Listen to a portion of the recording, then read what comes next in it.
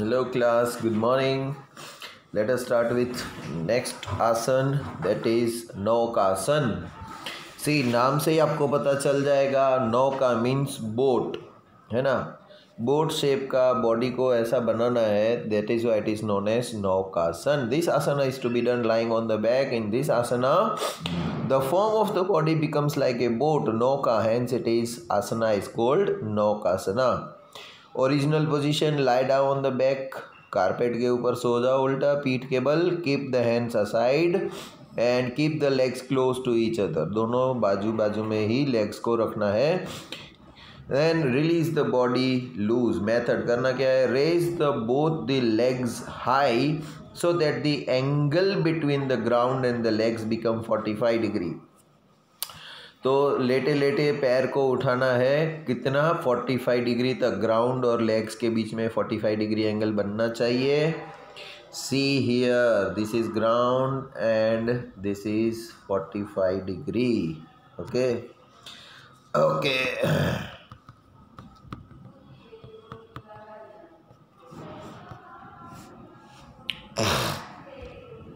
Take care that the legs do not bend from the knees. Knees से bend नहीं होने चाहिए legs in the same way raise the upper part of the body that is back head and hands all together उसी तरह फिर छाती, हाथ और सर को उठाना है, वो भी 45 डिग्री में and keep both the hands in the direction of the legs जिस डायरेक्शन में लेग्स है, उसी डायरेक्शन में हमको हैंड्स को रखना है। And keep your side towards the big toes of both the legs और हमारी नज़र को दोनों पैर के अंगूठों के ऊपर रखनी है। The whole body would be balanced by the support of the hips and this is the complete state of Naukasana तो पूरा बॉडी का बैलेंस जो है वो हिप्स के ऊपर बना रहेगा।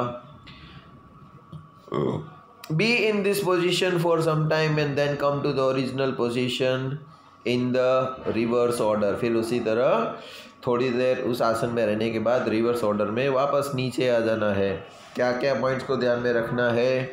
Don't give jerks while raising your upper part of the body upper part body का जब ऊपर उठाते हैं, तब झटके नहीं देने हैं। स्लोली रेज अप करना है।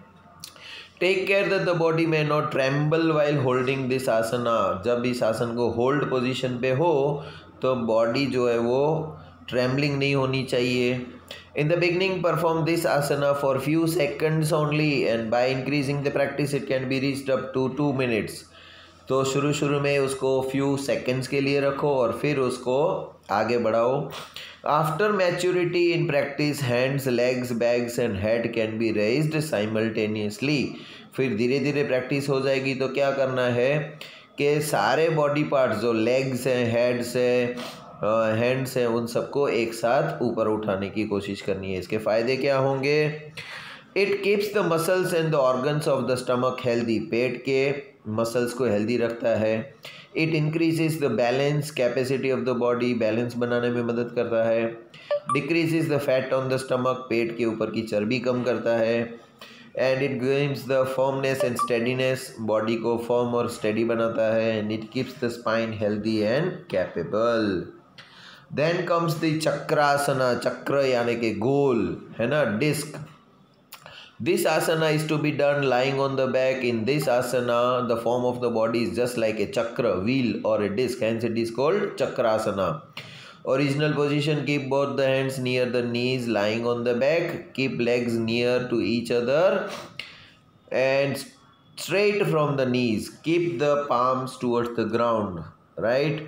तो फ़र्स्ट पोजीशन में ज़मीन के ऊपर सीधे लेट जाओ सर के पास सर हाथों को उल्टा रखो राइट right? फिर स्टार्ट कैसे करना है at first while doing the puraka, यानी कि सांस अंदर लेने की है keep the feet touching the ground so that both the legs bend from knees in standing position धीरे धीरे धीरे पैर को मोड़ के इतना ऊपर उठाना है जैसे कि हम खड़े हो रहे हो right right? Keep palms and legs firmly gripped in the ground पैर के पंजे और हाथ के पंजों हथेलियों को ज़मीन के ऊपर टच बनाए रखना है और बाकी की बॉडी को मोड़ते हुए ऊपर उठाना है। Keep the head touching the ground तब तक भी सर को ग्राउंड पे ही रखना है। स्लोली रेज द हैंड और लास्ट में फिर सर को धीरे धीरे ऊपर उठाना है ज़मीन से। Right and stay in kumbhaka position according to the capacity फिर सांस को रोके रखना है इस पोजीशन में रहने के बाद। While performing rechaka come again in the original position फिर जब सांस छोड़ रहे हैं हम, तब ओरिजिनल पोजीशन पे आना है। क्या पॉइंट्स को ध्यान में रखना है? In this asana at the time of raising the body from the waist take care that the hands and legs may not slip bring the waist downward slowly पैर और कमर जो है वो स्लिप होके वापस लगे नहीं, इतना ध्यान रखना है। Right right? वरना क्या है, हाथ फिसल सकते हैं। या पैर फिसल सकता है। उसके फ़ायदे क्या होंगे? The spine gets good exercise हमारी करोड़ रज्जु को अच्छे से एक्सरसाइज हो जाएगी। इंडाइजेशन होगा या कॉन्स्टिपेशन होगा, वो निकल जाएगा। Then feeling of the zeal and enthusiasm prevails in the body एक उत्साह आ जाएगा बॉडी में, एक एनर्जी हो जाएगी। And the posture becomes proper हमारी बॉडी का स्ट्रेट पोस्चर जो है, उसको हम मेंटेन रख सकते हैं, वरना कुछ लोग ऐसे आगे से झुके हुए होते हैं। वो झुकाव निकल जाता है। देन कम्स द भुजंग आसन भुजंग यानी कि सांप, है ना? सांप के जैसे बॉडी को बनाना है। This asana is to be done lying on the stomach इसमें पेट के बल ज़मीन के ऊपर सोना है। Bhujang means the serpent in this asana the shape of the body becomes like the shape of the serpent raising its hood सांप कैसे ज़मीन के ऊपर लेटा होता है, लेकिन उसका फन फैलाए हुए होता है। उस तरह से हमको बनाना है। इसीलिए इसका नाम है bhujang asana original position lie on the stomach both the hands on the side of the thighs ज़मीन के ऊपर सीधे से लेट जाओ और हाथ थाइस के पास रखने हैं। Keep the palms touching the ground then keep the palms close to each other and keep the chin laid on the ground and keep whole body straight फिर keep palms near the respective shoulders अगर दाइना shoulder है तो दाइना तो उसके बाजू में ले आओ, बायां शोल्डर है तो बायां शोल्डर उसका पंजा उसके पास ले आओ। Then keep the palms and elbows touching the ground palms और एल्बो ज़मीन को टच हो रहे हो, ऐसे करना है। Raise the head shoulder and chest from the ground फिर चेस्ट के ऊपर से सर को, कंधों को और छाती को उठाए रखना है। To the navel while doing the puraka सांस लेते समय। Right this is the complete position stay in this position for some time इस पोजिशन में बने रहे। Again put the head on the trunk on the ground फिर धीरे धीरे वापस सर को नीचे रखने की कोशिश करो और सांस को छोड़ने की कोशिश करो धीरे धीरे और अपनी ओरिजिनल पोजीशन पे आ जाओ। इसमें ध्यान क्या रखना है? Student suffering from the disease like hernia ulcers of the stomach hypothyroidism severe backache internal TB should not do this asana अगर आपको ये बीमारियाँ हैं, पेट में चालने पड़े हुए हैं, हर्निया है आपको हाइपोथायरोडिज्म है तो ये आपको नहीं करना है। Women should do should not do this asana during the menstruation period तो गर्ल्स जब मेंस्ट्रुएशन पीरियड में होती हैं, तब ये आसन नहीं करना है। The patient with the good the patient with the post operation of the stomach अगर किसी इंसान का पेट का ऑपरेशन हुआ हो तो दो तीन महीने तक भी ये आसन नहीं करना। इसके फ़ायदे क्या होंगे हमको आसन करने के? कि organs of the stomach get massaging and remains healthy पेट के ऑर्गन्स को मसाज मिल जाती है और हेल्दी रहते हैं। Muscles of the neck become strong गर्दन के मसल स्ट्रॉन्ग होते हैं। Troubles of urination get rid of bathroom की अगर कोई प्रॉब्लम है तो वो निकल जाती है। Then waist becomes more flexible कमर हमारी और भी लचीली हो जाती है।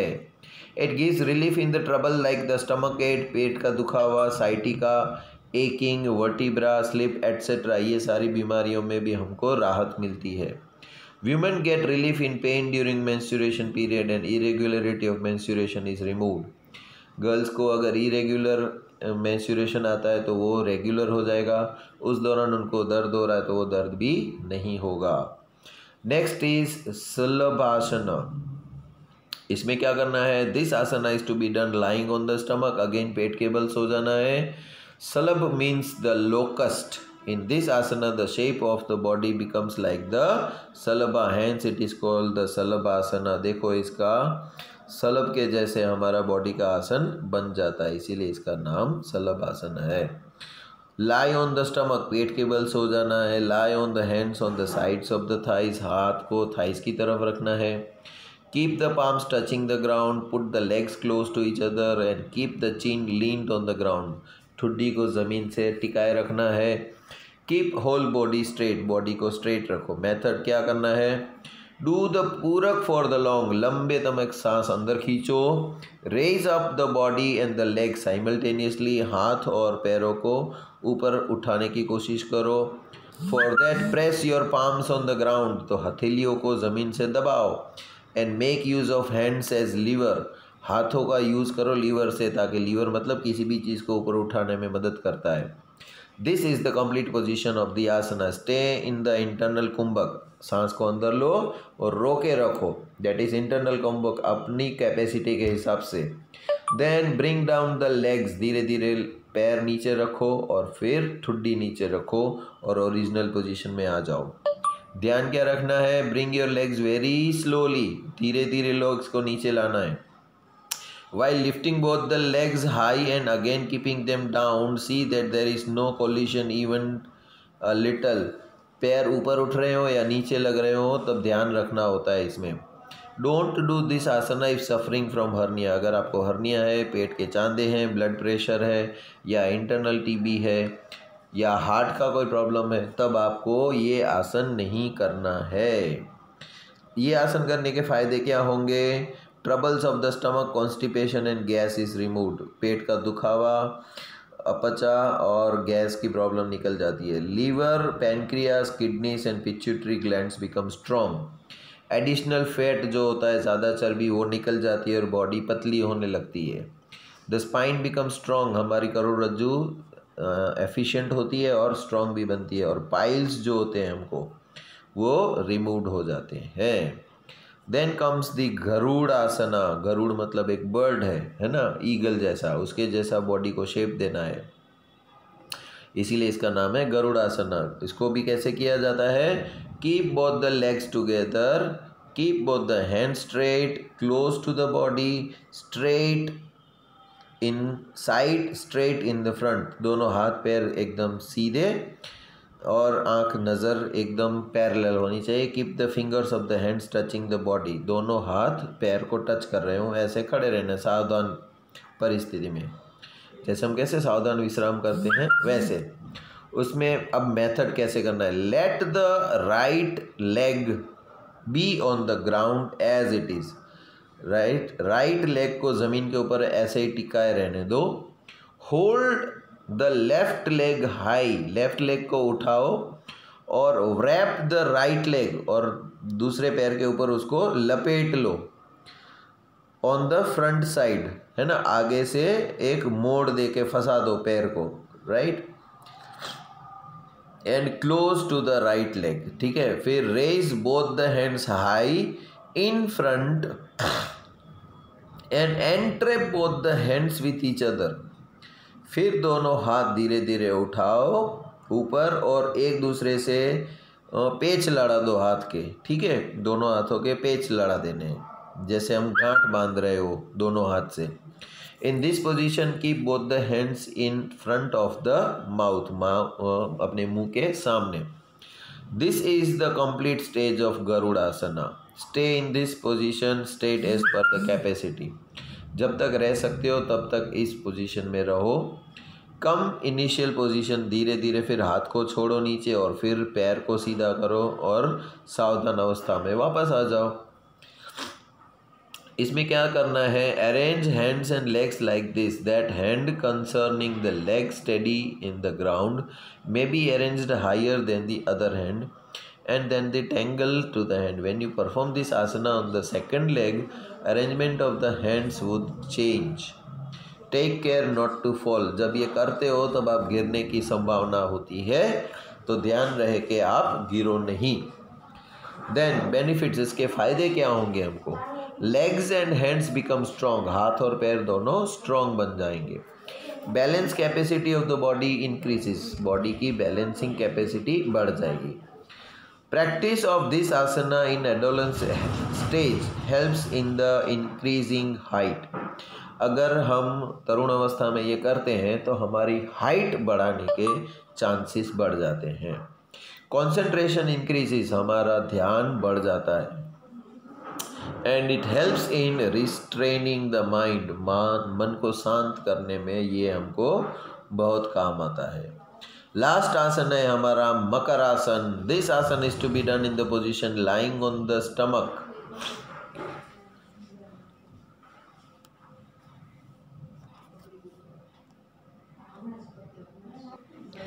so इस आसन को करते समय हमको मगर जैसा बॉडी को शेप देना है है ना?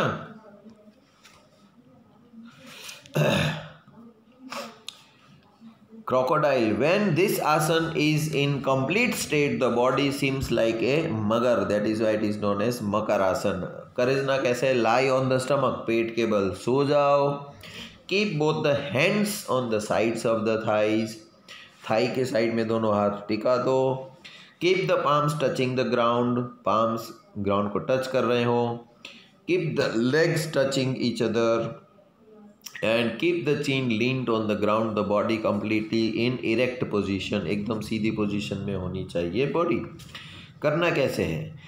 Keep the distance of a feet between both the legs एक फुट जितना फ़र्क रखना है दोनों पैर के बीच में. देखो यहाँ पर.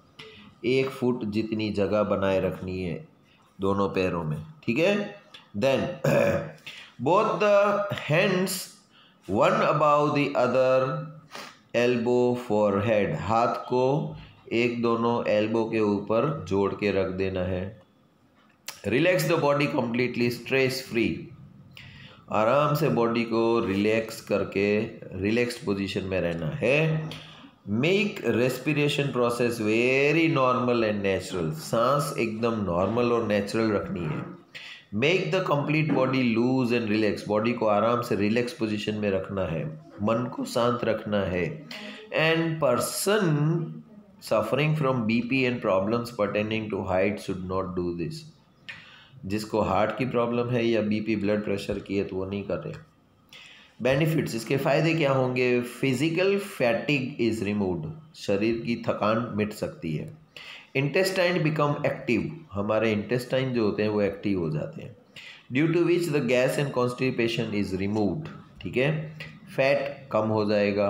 It is beneficial to the patients of high blood pressure high blood pressure वाले पेशेंट्स को आराम, सुकून मिलता है।